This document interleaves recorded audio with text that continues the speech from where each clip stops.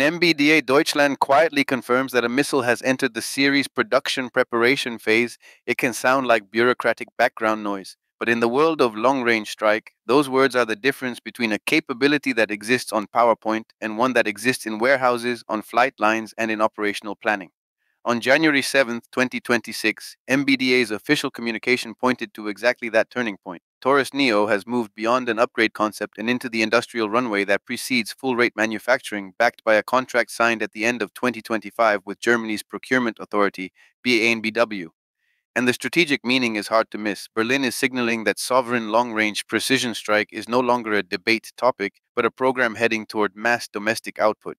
So, what is actually happening here? Series production preparation is not the same as we are producing hundreds of missiles tomorrow. It is the unglamorous, expensive phase where you lock in the production design, qualify suppliers, build test equipment, establish quality assurance regimes, and turn a development pipeline into a repeatable industrial process. This is where programs either become real or quietly stall under the weight of timelines, cost growth, and supply chain fragility. The fact that this milestone is tied to a BAAINBw contract matters because it anchors the program in procurement reality, industrialization funding, accountability, and the kind of contractual structure that manufacturers need to expand facilities and commit to long lead components. That leads directly to the second message embedded in this announcement. Germany wants this capability under national control. Taurus Neo is positioned not merely as a better missile, but as a domestically manufactured one, with production centered at MBDA's missile integration site in Schrobenhausen, Bavaria. In today's security environment, sovereign is not a fashionable adjective, it is a risk management strategy. If your long range strike inventory is small, your supply chain is international, and your resupply depends on political approvals across multiple capitals, you do not fully control escalation ladders, stockpile replenishment, or wartime surge.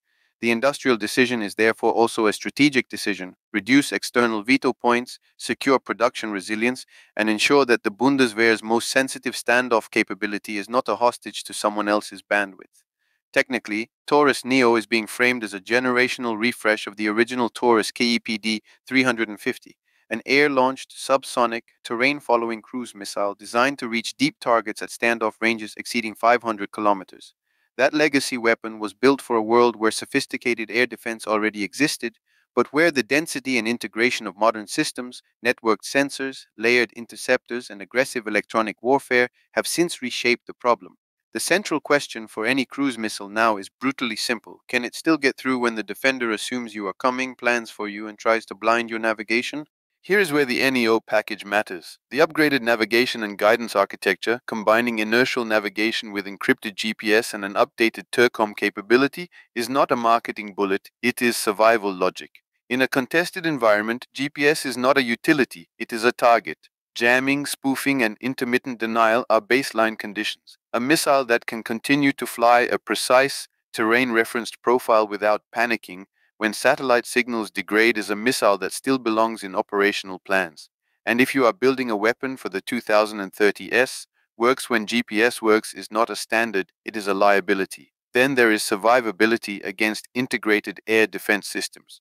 MBDA's description of enhanced electronic counter-countermeasures and low observable refinements is essentially a recognition that the missile's hardest meters are not the last meters to the target, but the long transit through a defender's sensor and engagement zones.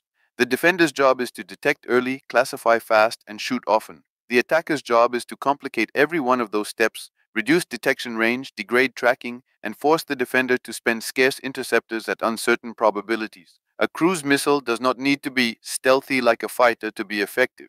It needs to be difficult enough to find and kill that saturation, routing, and timing can overwhelm the defense's decision cycle. The NEO improvements are aimed squarely at that contest. But the most consequential shift may be software.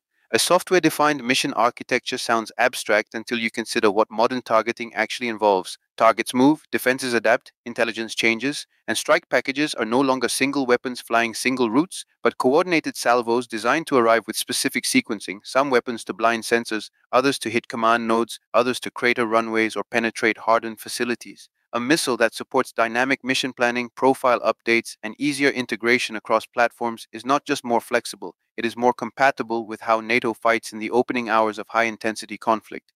The difference between a rigid pre planned route and a reprogrammable mission is the difference between one shot at yesterday's plan and a weapon that can remain relevant as the battlefield shifts.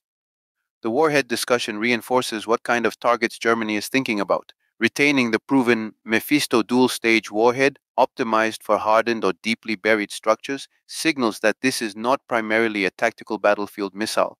This is a strategic effect weapon, command centers, protected infrastructure, high value nodes that are deliberately built to survive. Updated fusing and refined penetration logic are exactly the kind of incremental changes that look minor until you remember the target set. Modern bunkers are engineered with layered materials, void spaces, and blast mitigation. Penetration is a science, not a slogan, and good enough is often not enough when the target is designed to defeat your first attempt. Integration is the other hinge point. The original Taurus was tied to a limited set of platforms, including Germany's Tornado and the Eurofighter Typhoon. But Germany is moving into a future where the Tornado era is ending, Typhoon remains central, and future systems, potentially including unmanned components under FCAS, will demand cross-platform compatibility. Designing Taurus NEO with broader integration in mind is a way of future-proofing the investment, because what is the value of a sovereign long-range strike missile if it becomes an orphaned capability trapped on a shrinking fleet? All of this brings us to the strategic layer. Why now, and why this emphasis on scale and domestic production? Because long-range strike has become one of Europe's most visible capability gaps and one of its most politically sensitive tools. Precision standoff weapons are deterrence instruments. They allow a state to hold at risk what the adversary values most without immediately putting aircraft and pilots into the teeth of layered defenses. They also shape alliance burden sharing. A NATO Europe that can contribute meaningful deep strike capacity is a NATO Europe that is less dependent on a narrow set of suppliers and stockpiles and more credible in its own right. There is also a quieter industrial reality.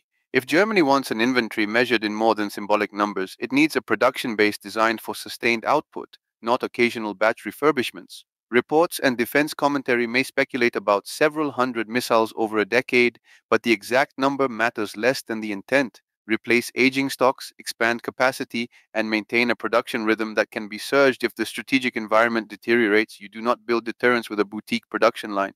And then comes the political question that always follows long range strike exports. A domestically produced Taurus NEO in principle creates the option of supplying NATO and EU partners, but in practice, any export would run through strict political approvals and strategic risk assessments. This is where sovereignty cuts both ways. Germany can build the weapon at home, but every sale is a statement about escalation management, alliance politics, and the kind of strike capabilities Europe wants proliferated within its own security architecture.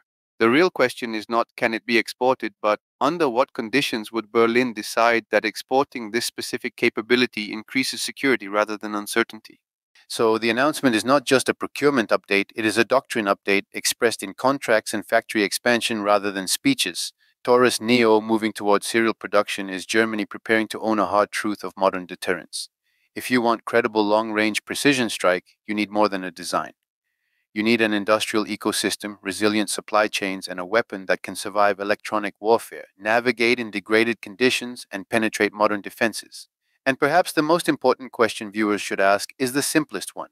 If Europe is entering an era where range, survivability, and stockpile depth decide outcomes, how many other paper capabilities are about to face the same moment of reckoning that Taurus Neo just did?